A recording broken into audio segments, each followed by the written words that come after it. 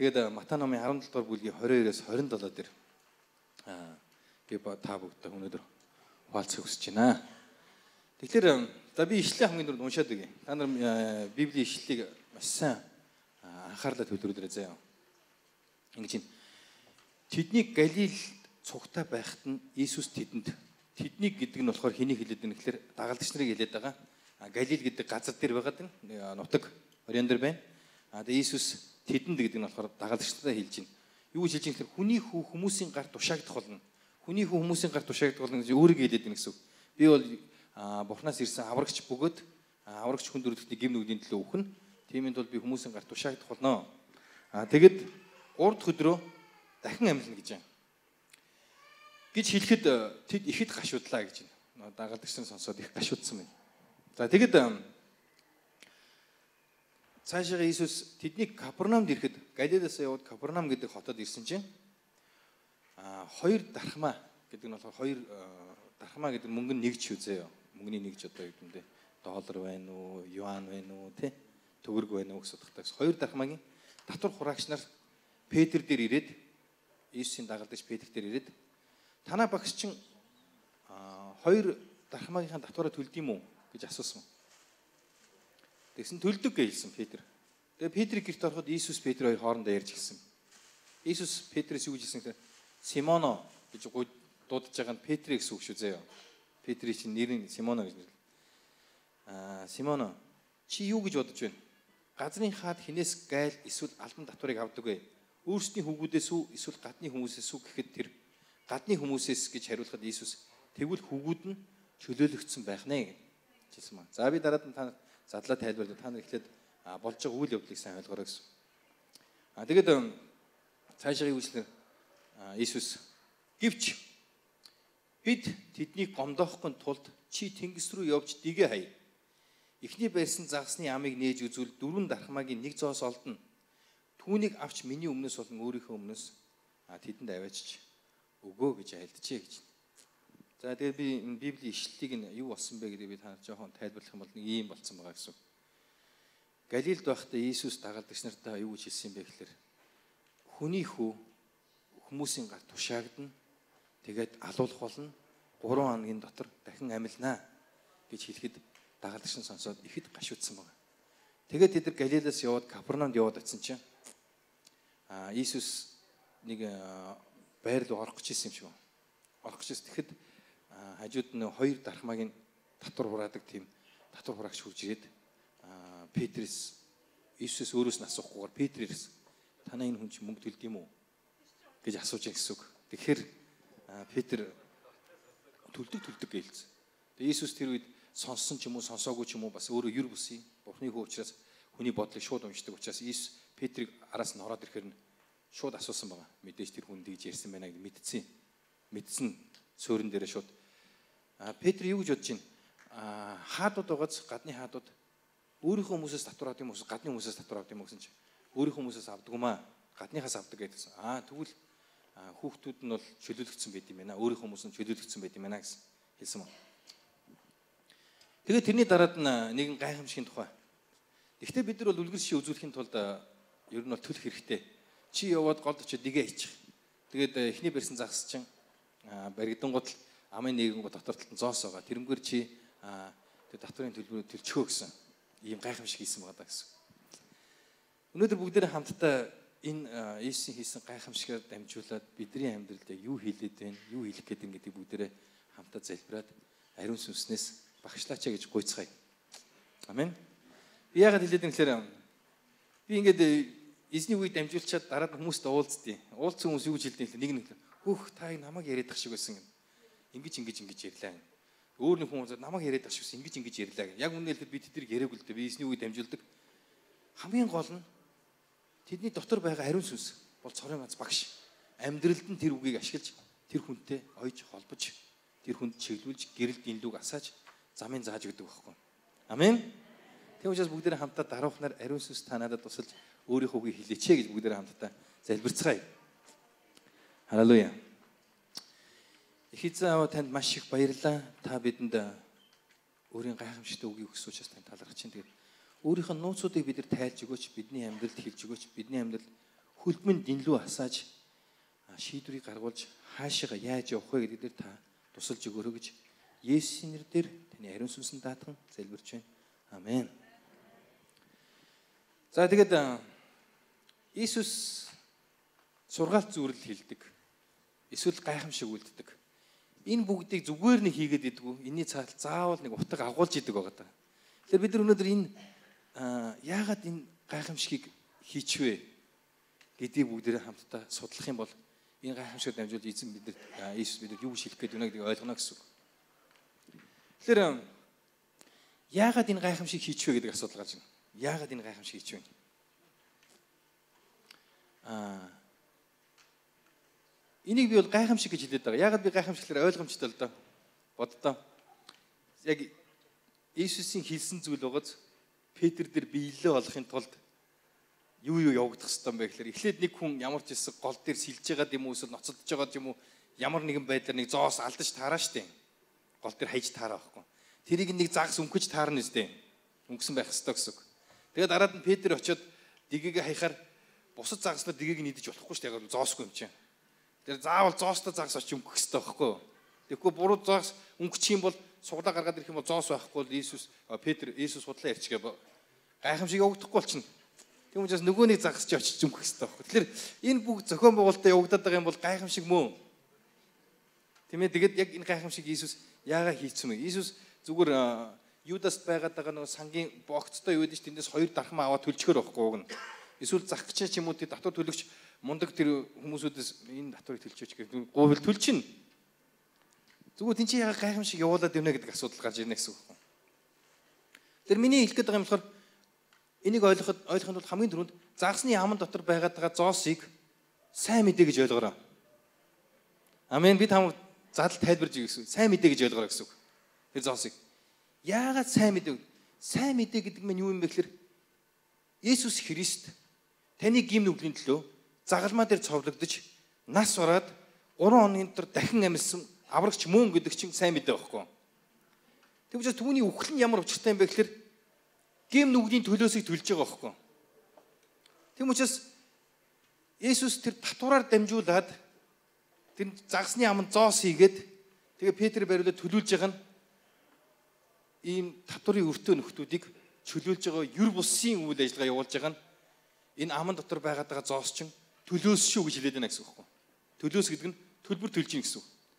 Ер нь бол төлбөр төлөгдөхөд гоё шүү дээ. Төлбөр. Ер нь бол ингэж боддоо би.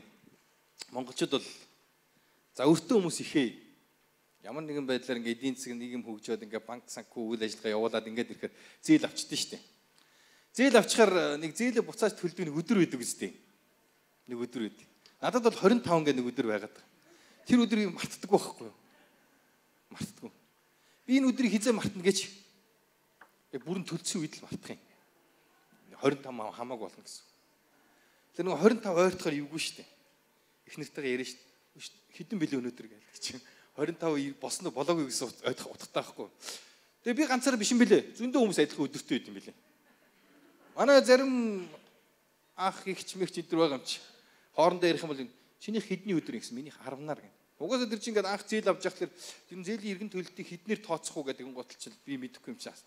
Хэднэр нь үл зүгээр эд ирнэ гэсэн чинь сарын сүүлээр үл зүгээр штэ. Цалин байлын чи яа дий ингээл ингээд ярьж байгаа л тэгэл так гал нэг өдөр зоох юм шиг байлаа штэ.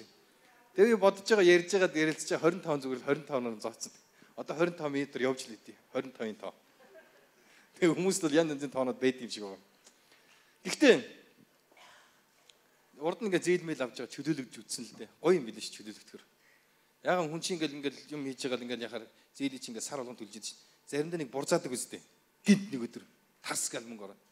Тэгүн гот аа банк руу очиж тэрийг очиж төлье гэдэг. Чөлөөлөгдгийг суудахтай байхгүй. Очингуудаа л нөгөө нэг банкны үйлчлэгч ажилтнаа тэлэртэн юм. Биш минийх үлдэгдэл нь тэгээд үндсэн төлбөрт үлдэгдэл тэгээд хід болж ийн гэж асуух. Гоё те. Тэгвэл тэдгээл тойл шүү дээ. Йоо тэгээд тэндээс гараад ирэхээр нөгөө өдөр чи хамаагүй болчихно шүү дээ тэр өдөр надад. Ямар ч хамаагүй болно. Тийм учраас Иесусийн хувьд хэлэх гээд байгаа нь аман дотор байгаа тэр зоос бол төлбөр төлж байгаа төлөөс бөгөөд энэ бол сайн мэдээ. Сайн мэдээ гэдэг чинь юу юм бэлэр хүн төрлөختний гим нүглийн төлөөсийг Иесус өглөөрөө төлсөн төлбөр байхгүй. Амен. Тэгээ тэрийг ярихаар нөгөөдөл нь ихэд гашуудаад байгаа байхгүй. Юу шилжин гэхээр аа хүний хүү хүмүүсийн гарт тушаагдана тэгээд алуулна тэгээд 3 хоногийн дараа дахин амьдна гэдэг сайн мэдээ яриад байгаа шүү дээ. Тэгсэн чинь нөгөөдөл нь сонсоод ихэд гашуудаг гэдэг шиг үгээр ойлгоогүй гэсэн үг. Сайн мэдээг нь ойлгохгүй гэсэн үг. Яг өнөөдөр бид нар гадаа гараад ярихаар бас итгэдэг. Тэд нар яагаад ойлгоогүй нөхлөөр энэ Иесийн үхээд байгаа ингэдэг байгаа нь өөртөө ямар ч холбоотой гэдгийг шууд холбоотой мэдэхгүй учраас ойлгохгүй байгаа хөө. Тэгвэл бид нар гадаа гараад хүмүүст Иесийн тухай ярихаар яагаад ойлгодог вэ гэхээр Иесусийн үхэл тэр бүх зүйлүүд дахин нь тантай холбоотой гэдгийг мэдэхгүй байгаа хүн чинь ойлгодог вэ гэсэн үг. Тийм учраас Иесус ямар үүрэг ноогдсон бэ гэхээр энийг яаж ойлгох вэ гэх. Хаавсан Галилд байхдаа бодцоод Капернаум хүртлээ яа идөө гэж бодоо идсэн чинь тийч татвар хураагч тэрүүхэн энэ нэг юм танаа хүн төлдөг өмөлдөг асуусан чинь Иесус тэрүүхэн энэ дээр ойлгох аа за энэнгээр дамжуулаад энийг бас ойлгуулах гэж нэг үзэтгэе. Гэт Петр цоны юм хэлэхгүй явж чичээд ингээд загс барьчихаа. Загсны хамт дээр зоос байгаа. Тэр зоосоор ингээд төлбөр төлчөрөө гэсэн. Ер нь бол загс барих заяа гоё. Та нар загс барьж үтсэн хүмүүс байдаг баг. Загс. Ер нь загс барьс анхныхаа загсыг хүн мартдаггүй яг барьсан үе. Угаасаа мартдаггүй юм бэлээ. Тэгээ би энийг мэддэг учраас хүүхдүүдтэй гурван бандаа дагуулж яваад би нэг загс барьсан. Би өөр албаар загас байсан. Хүүхэд байхдаа яг барьдаг байсан гол руугаа дагуулж жоод зардал мардал болоод явж байгаа шүү дээ. Тэгээ очиод бүх юм бэлдэж өгөөд загс барь. Би тэгээд яах гэж гисэн гэхээр манай гурван хүү ирээдүйд зөндөө загс барих байх л та. Гэтэ анхныхын загсыг мартдаггүй. Тэр нь би байгаасаа гэж бодсон байхгүй. Ямарс манай гурван хүүхдээ очичоод нэг нэг загс барьсан байгаа. Гэтэ сонирхолтой том нь том дундхан дундал жижиг байсан. Гурлаа дигээс дөрөх гайсан байхгүй. Гарч ирсэн загсууд нь томийнх нь том байхгүй. Дундлынх нь дунд зэрэг заяа жижигхэн жижиг гараад ирсэн байхгүй. Тэгээ боц за за миний энэ хүслийг биелүүлээд бурхан хөөрхөн хөөрхөн нэг нэг загс өгсөн юм шиг нь биенийхээ хэмжээгээр нь. Гэтэ би таа өнөөдөр энэ юу энэ сургаалт зөвлөл маань загстай холбоотой болохоор би бас ер нь бол загсны тухай нэлээд юм ярина заяа. Тэгэхээр та нар загс барьж исэн хүмүүс бол мэднэ гэсэн. Тэгэхээр бид нар эндээс яг юу ойлгох вэ? Би та бүхэн дөрвөн зүйлийг сайн ойлгож аваас.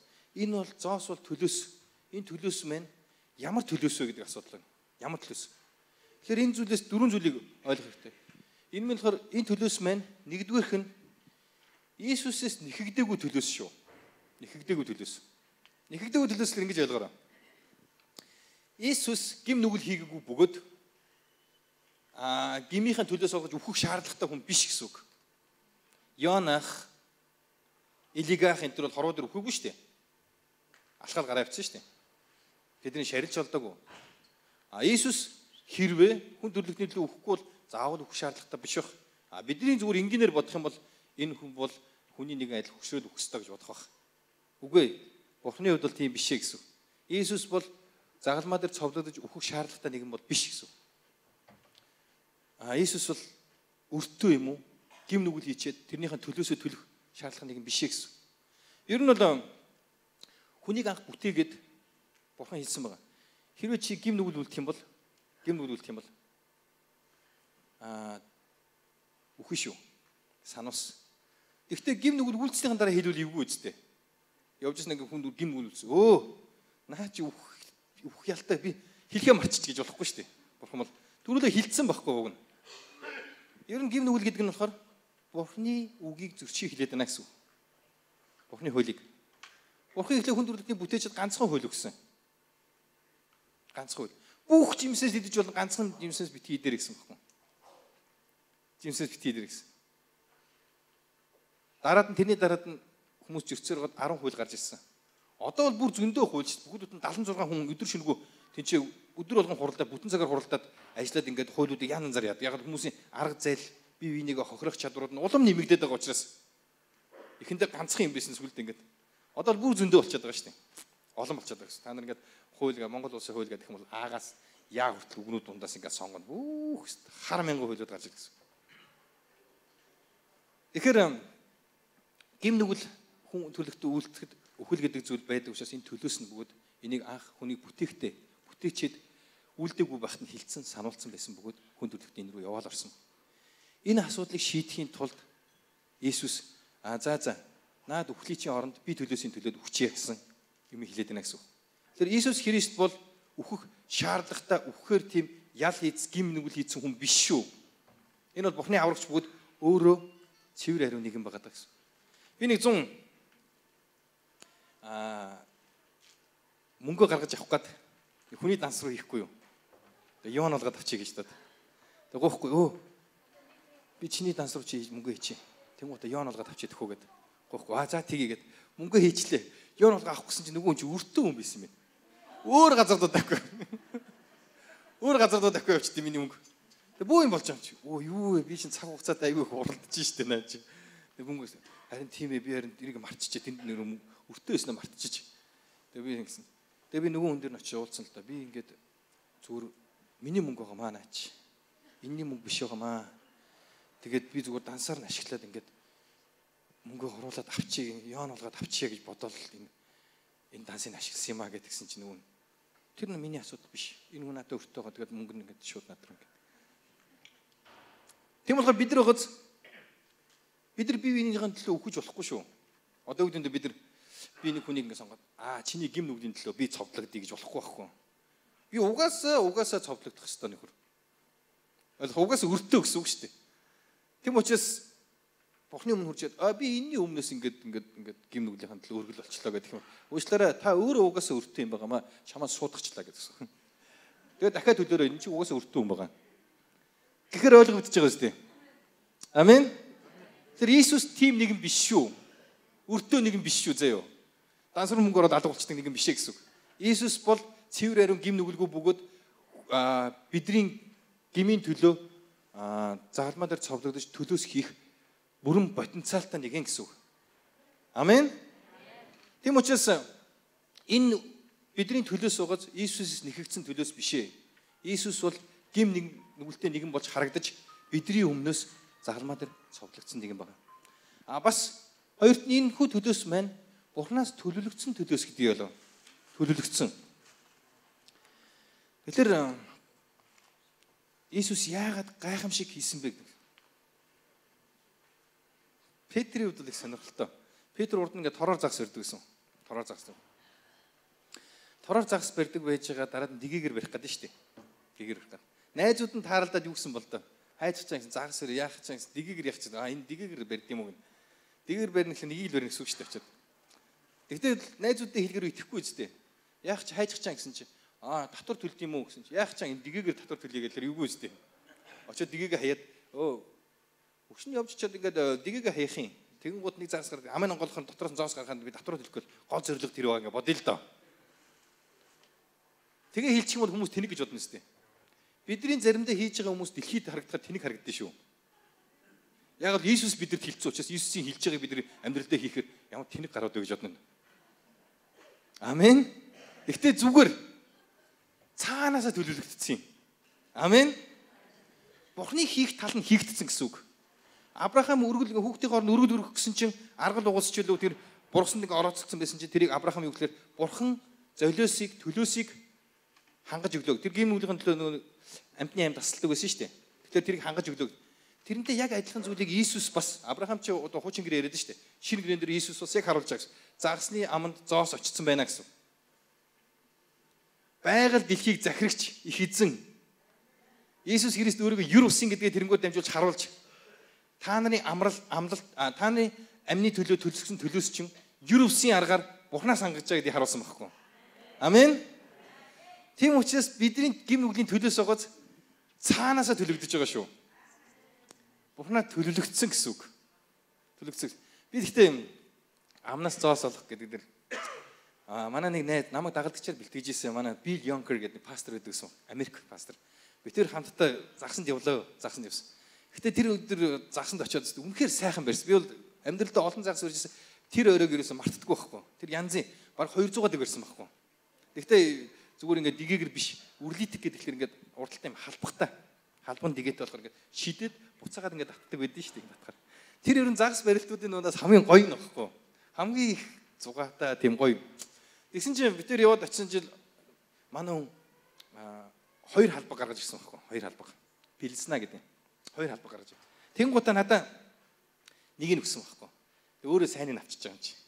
Өөрөө тэрэндээ дуртай. Өөрийнхийг болохоор five diamond гэж нэрлэдэг юм билээ. Энэ болохоор таван алмаз энэ гэсэн. Таван юм нэг загсыг ингээд харахаар ингээд гэрэлдэг юм шигтгэхтэй.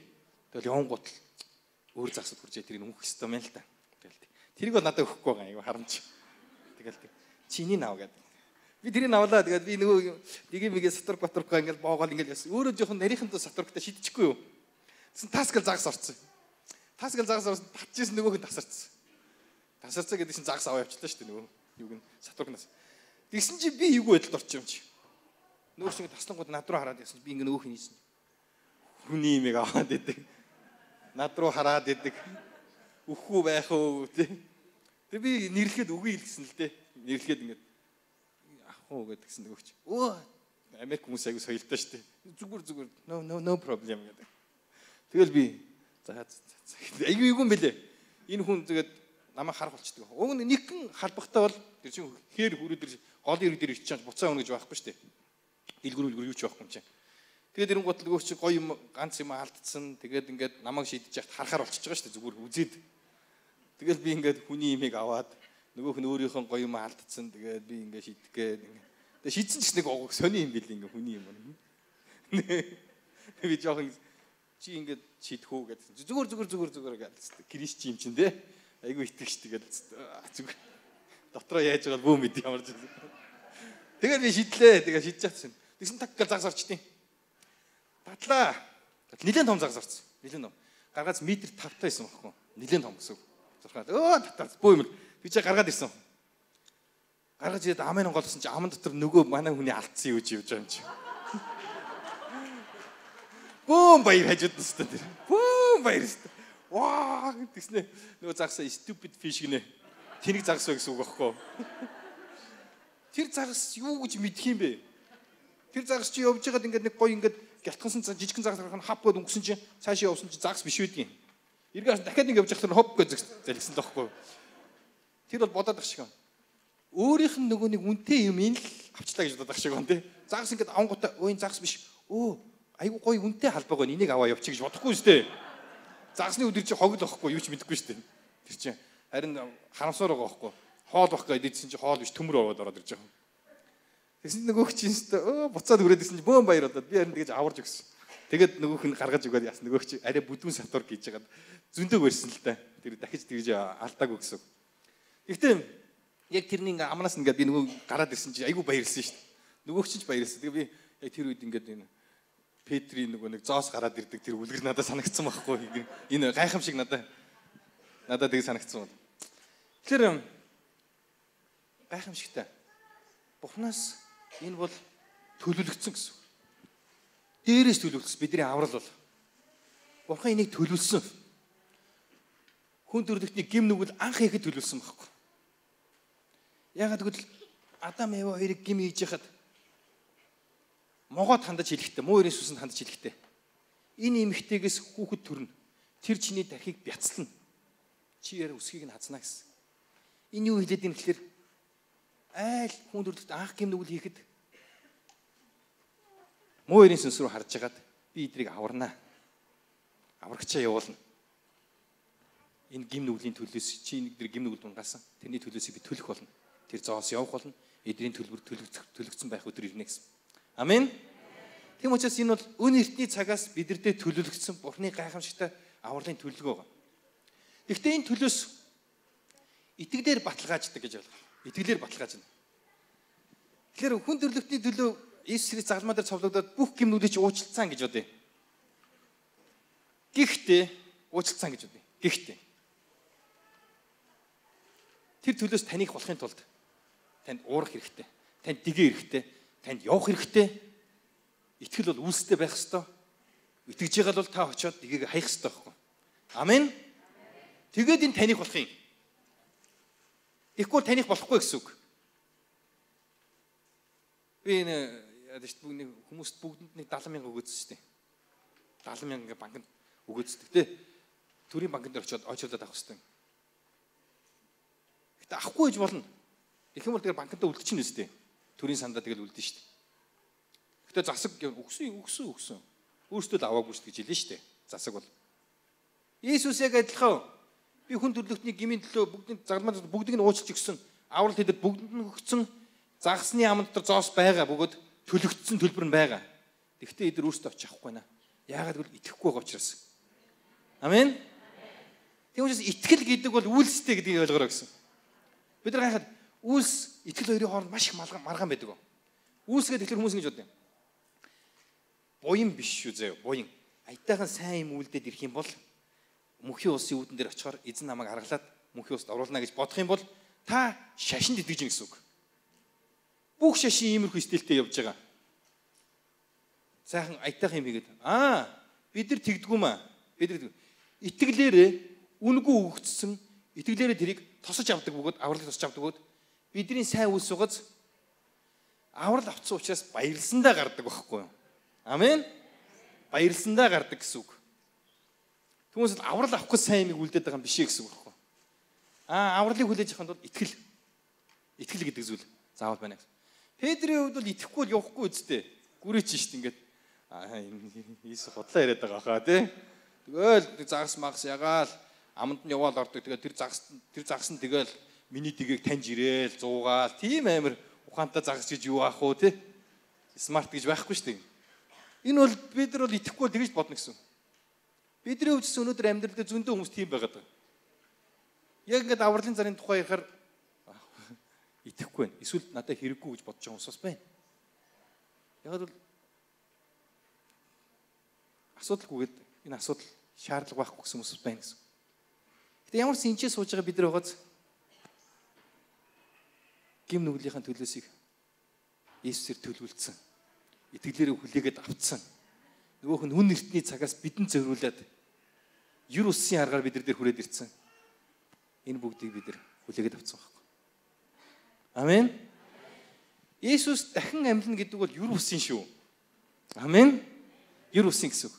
Иесус үхээд тэр чигээр явчвал эвгүй шүү дээ. Нөгөө загасны яам зоос ороод тэр чигээр явчих юм шиг болчих шүү дээ. А дахин амьлна гэдэг бол бидний мөнх амийн баталгааг харуулсан гэсэн үг байна. Тэгэхээр эдгээр эдгэлээр баталгаажсан төлөөс байгаамаа гэсэн. Тэгэд дөрөвт нь а энэ маань чөлөөлт авчирсан гэдэг ойлгох хэрэгтэй. Чөлөөлөгдөх чөлөөлт гэдэг бол маш чухал үг. Чөлөөлт гэдэг зүйл. Ер нь би түрүүн дөржсэн шүү дээ. Банкнд үртээ явахаар үртэл өгдөн шүү дээ. Нэг өдөр чөлөөлөгддөг үсттэй. Бурзааж орж ирээд. Яа. Өнөөдөр ач банкныхаа мөрийг төлнөө гэж бодсон өдөр гоё өдөр шүү дээ. Тэр заавал 25 байх албагүй шүү. Яг мөнгө орж ирсэн өдөр байхгүй. Бүр 13 муран байж болно. 7 8 9 байж болно хамаагүй. Шууд банкн дээр очиод Өш яг өнөөдрөөс эхлээд бүгдийг бодчих. Тэ? Хүмүү тэгэл бүх юм үлдэгд үнсэн бүгдийг боддоо. Хит болж байна. Бүгдийг төлөх гэж байгаа мó. Тийм. Тасархаа эзтэй тий. Тийм. Тэд болж байна.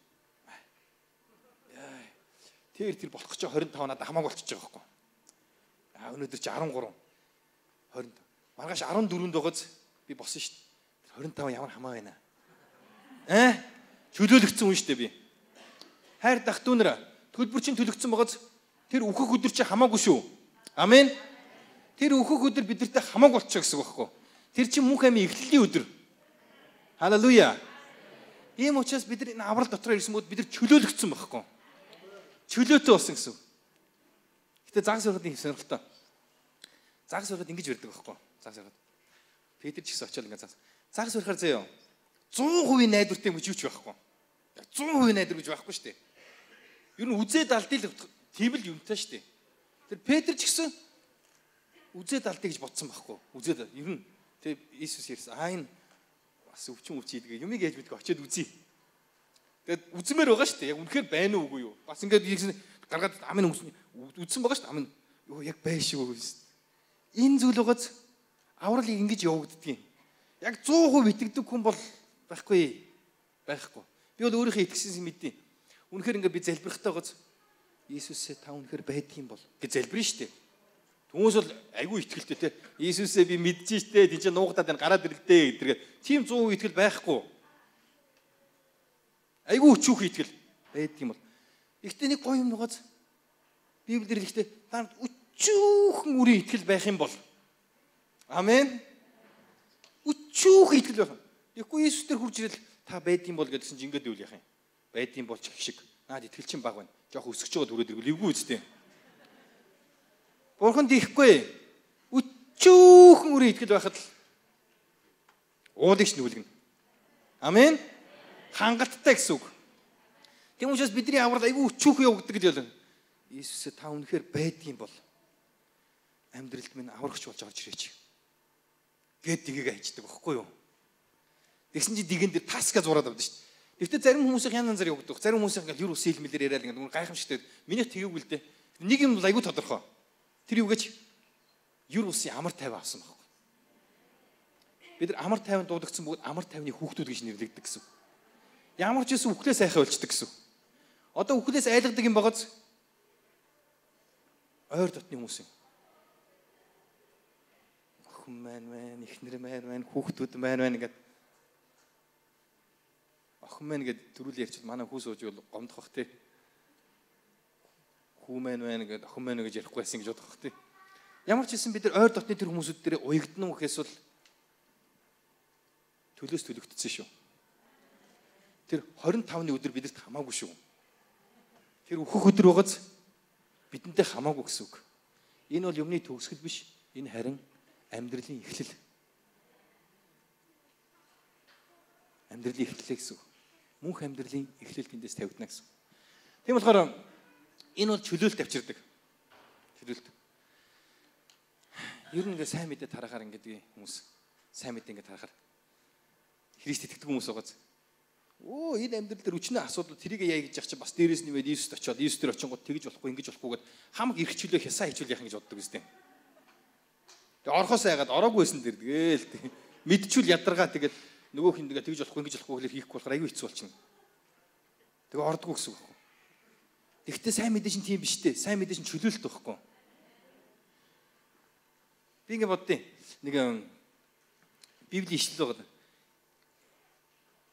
Илүү гарсан хэрэггүй мөчрүүдийг тайрж усан үзмийн модыг ачилдгаа гэд Библиэл дээр Иесусийн хэлсэн сургаал зүйлүүд тэгж хэлдэг байхгүй. Тайрж шилдэг. Гэхдээ би нэг бүрслигийн хэлсэн үг англи дээр яваадаг л да. Гэхдээ монгол руу орчуулахаар ингэж орчуулдаг да. Сахилга бат гэж юу вэ? Сахилга бат гэдэг бол Сахилгават гэдэг бол а эрх чөлөөний хязгаарлалт биш ээ. Сахилгават гэдэг бол амьдралд хэрэггүй зүйлсийг таньж байгаа хэлбэрээ гэсэн баггүй. Тэгэхээр юу хэлээд нэхлэ Библи энэ Брүслигийн хэлсэн үг гэдэг юм байхгүй чи угсаа Библиэлд Иесус өөр хэлбэр хэлчихэд байхгүй. Амьдралд хэрэггүй илүү зүйлүүдийг тайрдаг. Бидний амьдрал дээр гим нүгэл болон буруу зуршил, буруу харилцаа зөндөө юмнууд байгаа шүү дээ. Тэрийг Библи бид нар сурахтаа энийг тайраа хийчихаа гэж хэлдэг байгаа. Тэгээ тайрангуут л аварна гэж хэлээгүй шүү дээ. Аврал угаасаа итгэлээр явагдсан. Амен. Харин зүгээр тайрвал танд ашигтай гэж хэлээд байгаа байхгүй. Тийм учраас гим нүглээ хийхгүй байх нь танд ашигтай байхгүй. Бид нар тийж бодоод байдаг. Гим хийчих юм бол бурхны хүмсгэн ингээл амар атирж материал бид нар л уурлал буян хийгэн гот бурхан инегээл ийм биш ээ. Ийм биш шүү. Гимийн асуудлыг аль үшээ шийдсэн. Аа тэгэхээр хийж байгаа нь таал өөрөө өөрийгөө зовоогод байна гэж ойлгороо гэсэн. Илүү юм хийгээд байна гэсэн үг. Энийг бол зүгээр болчихол гэсэн утгатай байхгүй. Болчил өөр чи ашигтай шүү. Түүнээс бурхан бидний гим нүгэлтэд зурлаад аа хийцэн одоо бид бол авралаа буцааж авах болий тэгвэл аа тэгвэл одоо гайгүй одоо буцаагаад өгчий гэдэг ийм юм явдаггүй шүү. Бид нар итгэж ингэж боддог. Өнөөдөр хүртэл ингээд Иесуст итгэж ирснээр гим нүглээ өнөөдөр яг Иесуст итгэн гутал гим нүглээ өнгөрсөн амьдралаа гим нүглээ уушлуулад ийшээ яхахта гим нүглээс ингээд аа салах гэж ингээд зүтгэж мүтгээд ингээд амьдрна. Үгүй та гим нүглээсээ салж чадахгүй. Ямар нэгэн байдлаар үхий үхтлээ та гим нүгэл хийнэ том жижиг а багасч магадгүй. Багасч магадгүй шүү. Иесус Христийн төлөөс угаж итгэснээс ч өмнөх итгэсний дараах үхий үхтлээ хийхий чи өгöd байгаа байхгүй. Төлөөс бүрэн төлөгдөд байна гэсэн үг. Амен. Түүнээс таалмал биш шүү. Итгэснийхэн дараа гим игээг хүмүүс байна уу? Гараа өргөл байхгүй шүү дээ. Арай өргөчих юм биш үстэй. Пастор би байна. Найдвартай. Би бол мэдэхгүй байх л та. Тэгтээ бурхан мэдэн дээ. Тэр гим нүгэл гэдэг зүйл байгааз бидэрт багасч магадгүй түүнээс байж л. Гэхдээ энэ асуудлыг Иесус шийдсэн шүү. Амен. Бүрэн шийдсэн гэсэн үг. Бүрэн шийдсэн. Би нэг яах гэж яриад гэхээр гим нүгэл гэдэг жижигхэн зүйлтэй зуралцааргаад амьдралаа дуусчихваа гэж хэлээд байна гэсэн үг байхгүй. Тэгээ нэг үсэн Христ итгэж амьдралаа үтсэн чи нэг гим хийгээл 3 хоног гутраал буцаж гайгүй болоод тэгсэн дахиад гим дахиад гутраал дахиад ингэж явсаар бол амьдрал дуусч болохгүй шүү. Хайр тах дүүнрээ. Иесус бидэнд дуудлага өгд юм аа. Амен. Биднийг энэ хорвоо дээр зүгээр ингээд гинтэйгээ зурлцаар байгаа дуусчаасаа гэж боддгоо шүү. Бид нар онцгойлоод бүтээгээд онцлцсон учраас бид нар зориулсан дуудлага гэж байдаг гэсэн. Итгэж хүн болгонд байгаа. Хүн болгонд байгаа даа. Зарим нь мэднэ, зарим нь мэдэхгүй, зарим нь хилээд ах чи ойлгохгүй байгаа. Гэтэ би хилээд гэдэг нь болохоор Иесус хэлнэ шүү дээ танд. Яг Петрд хэлсэн чинь нөгөө дагалдагчуд нь Петр чи яваад ир. Тэгээд Дигээ таны хувьд юу вэ? Хүн хүний хувьд өөр шүү. Танаас гарах юм чинь. Бурхан таныг яаж бүтээсэн бэ? Танд байгаа юм байгаа. Таныг бурхан дуудсан гэсэн. Тэр дуудлагыг ойлгож мэдэрэй. Тэр дуудлагыг ойлгож мэдэх юм бол зөө. Ойлгож мэдэх юм бол тэр тэр дуудлага бол таны энэ хороо дээр яагаад байгаа гэж утга учир. Мөн бас таны амьдралд утга учир, учир шалтгаан тэр бүгдүүдийг тайлж өгнө гэсэн. Гэхдээ бүгдийг хилээд өгчдөг юм уу? Бүгдийг хилээд. Энийг явж олж мэддэгэ гэсэн үг байхгүй. Иесусыг дагаж явж мэддэг гэсэн үг. Энэнгээр амьдрал сонирхолтой байдیں۔ Сонирхолтой байдаг гэсэн үг. Тэгэхээр Иесус бол зөвхөн гимнүгдийг чинь уучлаад тэгээд аврах гэдэгээс гадна хорвоо дээр бас байлгаад байгаа шалтгаан нь тантай хамт таныг нь хорвоо дээр бүтээсний зориг гэж байгаад байгаа. Энэ зориг байдэн шүү. Энийг Иесусээс хүлээж аваарай гэсэн. Хүн хүнд өөр. За яг бид нар ажил хийн, бизнес хийн, эсвэл албан тушаал хашина. Аа, дэвшин, унан янз бүрийн юмуд байна, татвараа төлнө. Энэ зүгээр амьдрал байна уу? Байна, хэвийн. Христ идэгдэг хүмүүс ч гэсэн тийм. Аа, харин бидэрт ялгаатай юм байна. Бидэнд Иесус байдаг өгөөд Иесус бидэнд чамайг би яагаад байлгаад байгаа хэлж өгдөгөө гэж ойлгох хэрэгтэй гэсэн үг. Энийг олж мэдэх маш чухал. Маш чухал. Өнөөдөр хүртэл би үзээл юм аа ийм болов ийм болов загас байхад тэгдэг үсттэй тийм болов ийм болов за ингээд үзээд талд аа ийм биш тэг аа дараагийнх нь ийм биш тэг энэ амьдралыг сонирхолтой болгодог зүйл байгаа даа гэсэн тийм болохоор хайр тахт өнөр бидэрт дуудлага байгаа гэдэг би тийм мартаараа энэ дуудлагаар бид нар дуудагдсан бөгөөд энэ дуудлагыг бид нар гүйцэтгүүлэх ёстой гэсэн би яах гэж ингэж хэлэхээр ягаад би гим нүглийг гим нүгэл асуудалгүй шийдэгдсэн гим нүгэл хийгээд иж болно гэж би хэлээгүй шүү Би энэ хэлээд байгаа юм боц гів нүгэлдээ зурлалтаж бити доош ороорой. Дуудлага олж мэдээ тэрнийхэн төлөө зүтгэхээр угаасаа тэр нөгөөдөл чинь зав олдохгүй. Ер нь зүйл бид нар хичнээн буян үлдээд Бурхныг алдаршуулж чадахгүй шүү. Яагаад гэж Бурхан угаасаа алдартай. Угаасаа агуу. Амен. Библиэлд хэлэхдээ та Бурхныг байгаа гэж бодно байхгүй гэж бодно тэр байж л юм гэсэн. Тэгэхээр та Бурхныг алдаршуулна уу, алдаршуулахгүй вэ? Бурхан угаасаа алдартай. Угаасаа агуу. Амен. Тийм учраас Бурхан биднийг ингээл айтайхан байнгут мундаг болохгүй бол бид нар эвгүй байгууд доош орчих гээд байгаа нөхөр биш шүү. Та ишнээ гимнүгэл хийгээд Бурхныг гондуулж чадахгүй. Та өөрөө л гимдээ идэгдэн үхээс бол Бурхан бол байгаараа л байна. Тэр агуу нэгin хിവэрэл юм гэсэн. Тийм учраас гим нүглийн асуудал бол бидэртэй л холбоотой асуудал байгаа даа гэсэн. Би заримдаа хүүхдтэй буруу юм хийх, зүв юм хийхтэй асуудал төр ордог. Заримдаа буруу юм хийчихэд аав энэ дэр жоохон сэтгэл дундуур байгаад байна гэдэг. Аавын сэтгэл дундууртаа л үзгээд идэг юу? Би хүүхдээ үжилмэл миний сэтгэл дундуур байна уу, дээгүүр байна уу сонирн биш ээ. Наад хийгээд байгаа буруу юм чи чамд өөрт чинь гай болно штэ гэдгийг л ойлгосоо л гэж би бодож байна жижигхэн байхдаа ойлгодгоо дандаа л тийм бодоод байдаг. Томроод ирэхээр аа аав ер нь бол асуудлын гол биш юм байна. Чи миний төлөө л хилээд байгаа юм. Би л ер нь бол буруу юм хийхгүй бол миний надад л ашигтай байна гэдэг мэдээд ирэх юм бол энэ хүүхэд төлөвшөө томорж ин гэж ойлгодог байхгүй. Тэнтэй адилхан амьд сүмийнхаа бүгдээрээ хамтдаа жижиг сажиг юмар зурлахаа болио гэсэн үг байхгүй. Амен. Арай өөр төвшин том хөдөлгөөл гэсэн үг байхгүй. Тийм болохоор битгий буруугаар хүлээгээд авчир. Аа, гим нүглийн асуудал шийдсэн гэж. Аа, хийжсэн чи яадаг гэж битгий бодороо. Тэгвэл бүр нялх байна гэсэн үг байхгүй. А би том сэтгэе гэдэг нь за за одоо шалдар булдар те илүү дутуу хөдөлгөөнөөр яах. Тайраа тайраа ич. Ер нь бол тэгж болохгүй ингэж болохгүй гэдэг нь ихчлөөний хязгаарлал биш юм байна. Энэ бол амьдрал хэрэггүй зүйлийг тайрахыг сахилгуут гэдэг юм байна шүү дээ гэж ойлгох хэрэгтэй гэсэн үг. Амен. Иесус хэлсэн шүү. Би та бүгдэд Коринт номдэр хэлэхдээ Паул би та бүгдэд дахин боолт айцд хүрэх боолчлын сүнсийг өгөөгөө гэдэг нь болохоор шашин бол ингэж явдаг гэсэн үг. Шашин айдаг, нэг юмыг тахидаг, энийг аргаддаг.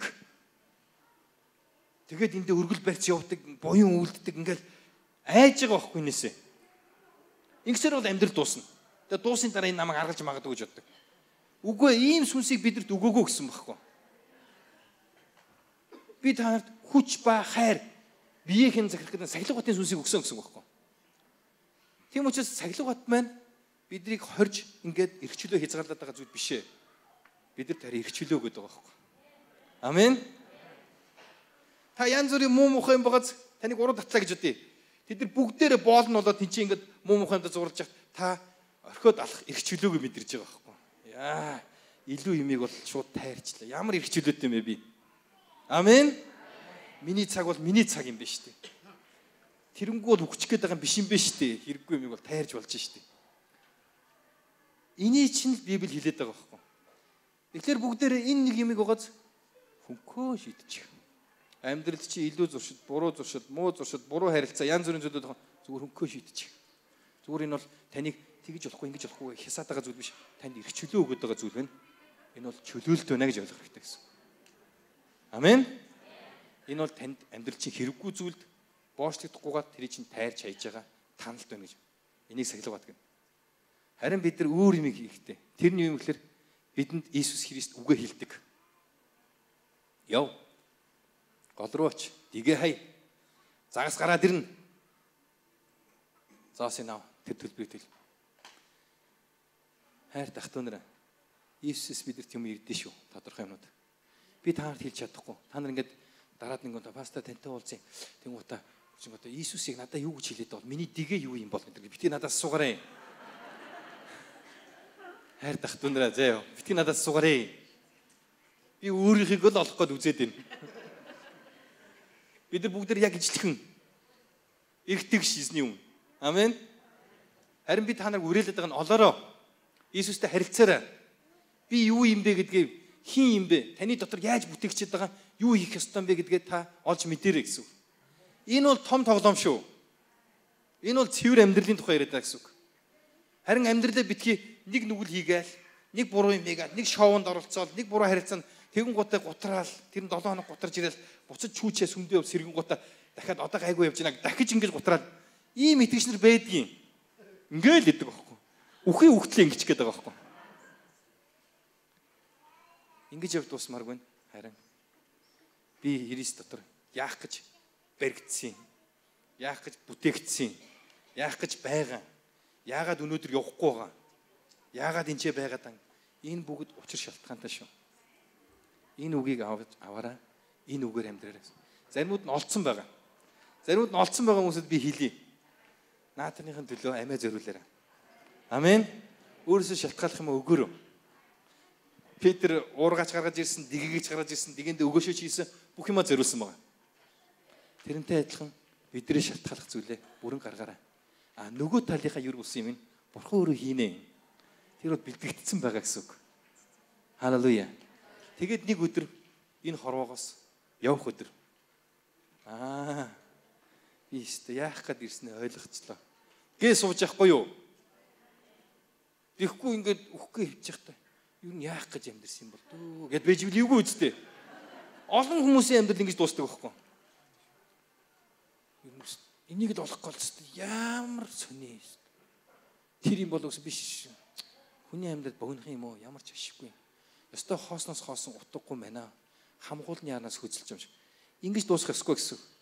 Хайр тахтун нар эрүүл ухаантай соноос хэрэмжтэй байна гэдэг бол сүнсээс хэрэг байна гэдэг чинь Иесус юу гэсэн аа намайг ингэж байгаа юм. За за энийг сайн хич. Тэр сонирхолтой амьдрал шүү. Тэрэн дээр янз юм. Амьд өгсөм далавчаад ивээд бүгдээрээ нисье гэдэг чинь энийг хэлээд байна гэсэн үг байхгүй. Тэгэхгүй дахиад шиг тэнцээ зуралдаал үүрэн дотор нис чадахгүй тэгээд хоорондоо хэрэлдээд ховж яриад гим нүгэл инээтрээ гал тэрнтэйгээ зуралдаад тах юм бол хайр тах түнрэ бидний төлөвлөсөн бидний хүсэж байгаа бурхан аваач гэсэн газар бид очиж чадахгүй болчихсон. Ганц л амьдрын шүү дээ. Очимоор нь үзмээр байна, хармаар байна. Тэгээд бас явмаар байна. Тэгээд дараагийн хүмүүс энээс хол явандаа гэдгээс хараад юрөөж өгмөр шүү дээ. Амен. Энэ бол бидний дуудлага байхгүй. Тэгэхээр хайр тахнараа бүгд дуудлага харж амьдрий. Төлөгдсөн шүү төлөөсч. Гим нүглийн асуудал шийдэгдсэн шүү. Энэ бол бидний санаа зовх асуудал биш гэсэн үг. Дахиад нэг гим нүгэл хийчих юм бол дахиад нэг гим нүгэл хийчих юм бол энэ надад их хортоодоо эннээс яа салъя дөө гэж бодох юм бол Бурханаас сахилга батын сүнсийг гуугараа заяа. Хүчийг гуугараа заяа. Хүч ба хайр сахилга бат. Эзэн минь энэнийг салгаж өгөөч. Энийг тайраа хийчмээр байна. Зүгээрээ тийм жижигхэн жижигхэн нэг бол дорн тайрна. Харин хамгийн чухал зүйл чинь бид нар дуудлагын төлөө тэрийг гүйцэтгүүлсэн байх хэрэгтэй гэсэн. Халелуя. Амьд өсөм одоогийн байдлаар баг олон дүү сүмөдтэй болцсон. Энэ бидний үр жимс шүү заяа. Та нар ингээ бүсүүдэрээ хуваагдаад хөдөө орон нутг руу яваал дүүс хүмүүдээр очиод урам урам үгүй мүгүй гэж аюу гоё ажил шүү. Бид нар ингээл зөндөө удаа ингээл байшин байх гал барилга байх гал та сүмээс аюу том болох гол нилээ үтсэн. Олж игдэггүй дандаа саад болоодс. Тэгээ чадахгүй байсан чи гинт ийш тийш илгээгдэд бутраад тараад аюу гоё эзний хаант ус өөр хэлбэрээр тэлжийлэн шүү дээ. Амен. Өөр хэлбэрээр. Уг нь бол бидний их гээд байгаа шүү том барилга бараа дотроо зөндөө юм байна. Аа бид нар агуу байгааз дэх гэдэг. Үгүй ээ. Өөр хэлбэрээр хэлээд л. Өнөөдөр бид нар өглөө тэргүүн пастор ирээд бид нар өглөө залбирдаг л да. Гэхдээ та нарын төлөө залбирдаг шүү. Их эзэн минь ээ. Өнөөдөр таны сүм рүү мөрөө гаргах гэж байгаа тэр хүмүүс дээр эрүүлэн байгаасаа гэж залбирдаг байхгүй юу? Амен. Тэгээд залбирж исэн чинь цөөхөл олчжээ. Тэгээд нөгөө Балчка астрын алга, Содо астрын алга, Сойго астрын алга байдгүй шүү. Нөгөө баахан хошуураал гэдэг пастор чинь байхгүй болцсон. Бүгд энэ тэнд ингээд сүм тариад ингээд яваадагцсан бэлээ. Гэтэ гоё. Амен. Тэлж гин гэсэн үг. Тэгээ бид нар бас тэднийхэн төлөө залбирсан. Тэд нар бас бидэртэй адилхан одоо энэ цуглараад эзнийг магтаад эзний үгийг сонсоод эзнийг алдаршуулсан байгаа. Энэ бол бидний үр жимс. Гэтэ манай сүмийг эзэн бүр хаа хүртэл явуулахын бүү мэд. Гайхамшигтай зүйл байгаа. Манай сүм дээр онцгой тослогоо байдаг байхгүй. Амен. Энийг би мэдэрдэг гэсэн үг. Бид нар дээр ирж байгаа бэрхшээлүүд нь ч онцгой байдаг, бас ерөөлн ч онцгой байдаг гэсэн. Халелуя. Бүгд хамтаа босъё. Эзэн талархъя. Дигээгээ олцсон байгаа хүмүүсүүд нь дигээгээ ус руугаа шидэхдээ зөрөгтэй ихтэй байгаараа шантрахгүй байгаараа харин дигээгээ олоогүй хүмүүс нь Миний хувьд Иесус та намайг юу хийгээд байгаа юм бэ? Тэрийг би мэдмээр байна гэдэг бүгд хамтаа сайхан залбирна гэсэн үг. Халелуя. Бидний эзэн бол амьд. Амен. Бид нар шашинд итгээгүй, бид нар үнэнд итгэдэг гэсэн үг. Бидний эзэн бол харанхуй эзэн биш. Бидний эзэн бол гэрэл гэгээтэй бөгөөд бидэнтэй харилцаатай нэг юм байна гэсэн. Тэгээ бүгд хамтаа залбирая. Тэгээд Иесусээс эхнийхэн дуудлагын хараа тэр зүйлүүдийг юу хийхээ олсон хүмүүсүүд нь тэрэн дээр одоо ихтгэлтэй байгаараа гэсэн. Таны хийж байгаа талын чинь нөгөө талд нь Бурхны хийсэн тал байгаа шүү. Тэр үн нэртний зүгээс төлөвлөгдсөн бөгөөд тань зориулагдсан зүйл байгаа гэсэн. Сонирхолтой байх болно. Яг загас ирж байгаа юм шиг. Харин тэрийг олж мдэггүй байгаа юм. Эзэн минь ээ би яагаад энд байгаад байгаа хэлж өгөөч Иесус ээ. Та юу хүсэж байгаа надаас?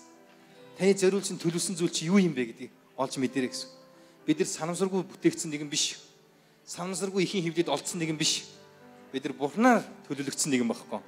Тийм учраас бид нар лавтаа байгаа гэсэн. Энийг бүгд нар олж мэднэ гэсэн. Халелуя. Энэ бол бидний жигүүр байх болно. Энэ жигүүр дээр бид нар илэн хальж Бурхны хүссэн газар очиж очих болно гэсэн.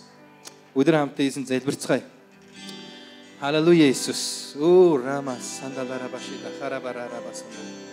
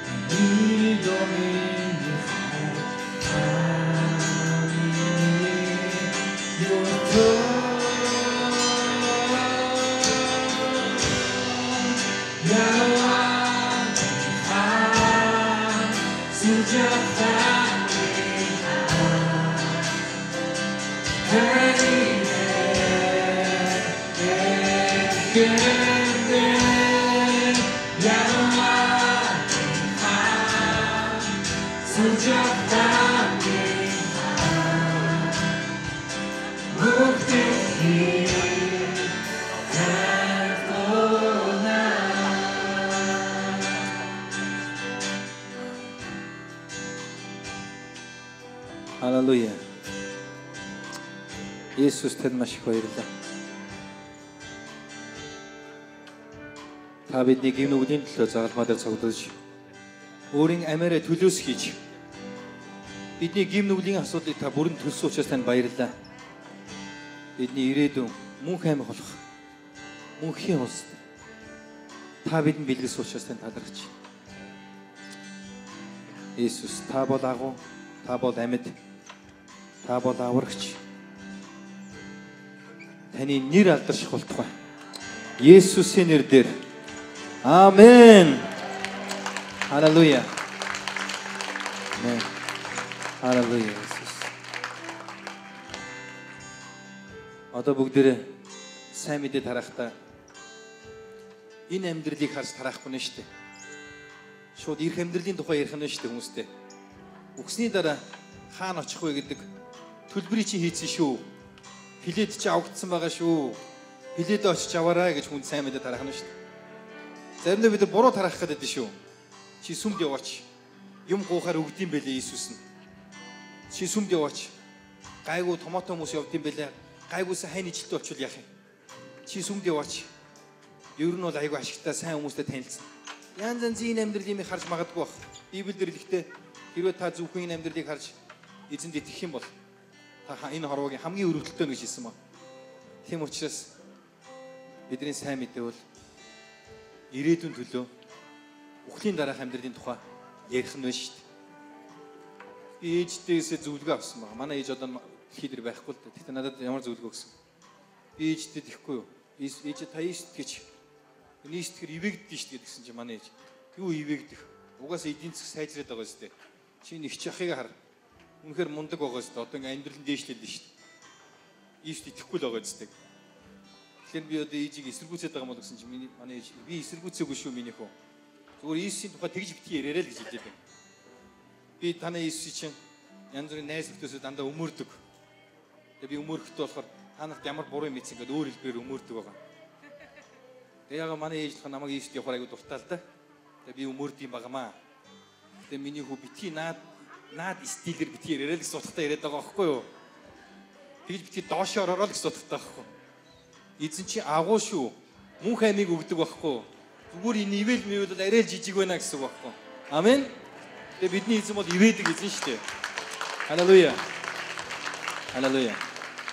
Тэгээд бүгдээрээ хамтдаа Ебесийн залбирлыг залбирая. Тэгээд судааны өндөрлөд. Тэгээд би Ебесийн залбирлыг яагаад та бүгдээ залбирх дуртай байдаг вэ гэж. Нэг зүйлийг мэдэрдэг. Бизнес хийгээд яхаар муу ирсэн суугаад баялаг бид нар лөө шилжчихвээ гэд айд юм шиг байгаа. Тэгвэл бид нар тэрний тэдний дургу юм хийх гээд байгаа юм шиг байт юм лээ.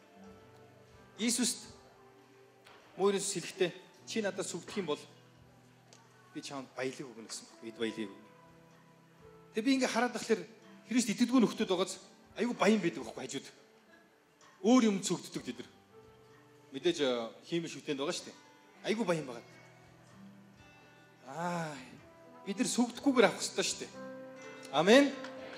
Энэ бол бидний хийсэн байхгүй. Тэр Ябез бол аль үшээ залбираад авцсан байгаа. Тунхаглаад. Тэр бүгд энэ аргыг хэрэглэнэ гэсэн үг байхгүй. Амен. Бид нар өрөөгднө гэсэн. Баялаг бидний тал шилжих ёстой. Бид нар энэ баялагаар Бурхныг алдаршуулсан зөв зүйлүүдийг хийх ёстой байхгүй. Амен. Бид нар хүн болж бүтээгдсэнийхээ төлөө хүнлэг зүйлүүд биднээс тэтэлэг гарах ёстой гэсэн үг. Тийм болохоор бид нар л мөнгө шилжихээс мөрөөс айд юм бэлээ. Тэрнээсээ болоод янз янз жижиг сажиг юм саадууд тавьчтیں۔ Өнгөрсөн 7 хоногт би нэг ажил үздэг бүтдэггүй. Бүх талаас нь яриад. Тэгээ би цаанаасаа саадаг мэдээд байгаа. Цаанаасаа гэдэг чи үгээд сүн саадаг гэдэг мэдээд байгаа байхгүй. Та нар ч гэсэн надтай адилхан зүйлүүд зөндөл байгаа. Бүгдээрээ хамтдаа Ябесийн залбирыг тунхаглахдаа тэр саадуудыг сэт цохино гэсэн үг байхгүй. Амен. Тийг таснаа гэсэн үг. Тэгээ би урд нь та нартай зөндөө залбирж ирсэн. Гэтэ та нарт эзний үе дамжуулах айгүй хурхан боломж олдод тийм. Тэгээ дамжуулах болгондоо би ард нь Ябесийн залбирыг залбирахдаа надад дандаа хүнд асуудал байдаг л да. Ялангуяа бизнес салбар дээр. Тунхаглал дараад нь тас хөгдөн шүү дээ. Амен. Тэгээ би өнгөрсөн доор бүтэхгүй болохоор би бодсон байхгүй. За сүм дээр очиндоо хамтдаа сайхан тас зөгчөөд ирээ да гэж бодсон байхгүй. Эх 7 хоногт миний бүтнэ. Амен. Та нараас бүтнэ гэсэн үг байхгүй. Ягаад гэвэл бид нар одоо тунхаглаж байгаа учраас. Халелуя. Бүгдээрээ хамтдаа тунхаглая. Намайг дагаад тунхаглаарай заяа.